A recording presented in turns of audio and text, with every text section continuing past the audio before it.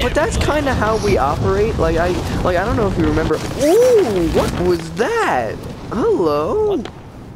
What? I thought I just saw bullets flying through the air, but that's physically I impossible. kind of want to land on the train, but I also don't. Oh, I'm being shot at. Oh! Christ. You just got sniped by that helicopter. I Enemy I watched overhead. that. I got shot at from the helicopter.